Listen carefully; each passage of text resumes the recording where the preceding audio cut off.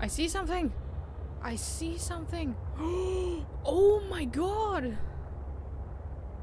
Oh my god, this is huge! The now I know. Garden harvests geothermal energy to nurture the life that grows within. Oh boy. So where are the spiral things? The spiral clipping thingies? Spiral plant? Are you the ones I need? I think it might be. Hello? yes!